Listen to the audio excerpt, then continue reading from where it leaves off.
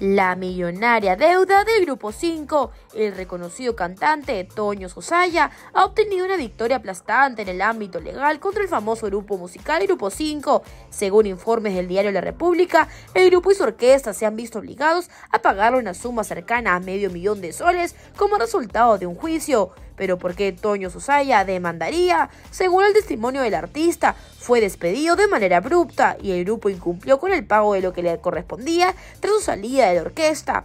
En una entrevista con Chicha Web, Toño Sosaya compartió su motivación para presentar la demanda. Sentí la necesidad de denunciarlos para que se me paguen los beneficios sociales, tal como establece la ley. Al principio tuve ciertos temores debido a posibles influencias en mi contra, pero el juez a cargo aceptó mi denuncia.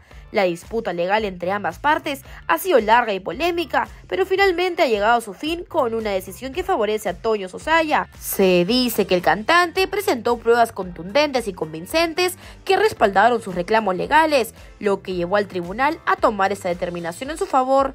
El monto de casi medio millón de soles es sin duda una cifra significativa y representa una importante compensación para Toño Sosaya, quien ha luchado diligentemente por sus derechos en este caso.